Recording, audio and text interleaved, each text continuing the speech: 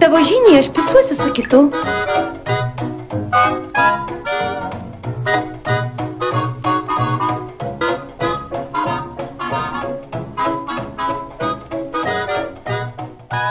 Blet, gal trenkti jam su zbonu per galvą? Ne, nu bet, blet, jis per daug gražus, negaliu. Nu kaip tu tokiam galvas lūžysi? Jaučiu, jis mane apipisinėja. A, nu ir tegu. Tai ką, aš ir masturbuotis negalėsiu? Šūdas. Blet, Janušas gražesnis. Fuck. Blet, arbatos neužkaičiau. Ai, po, pripilsiu karštų vandens iš krano.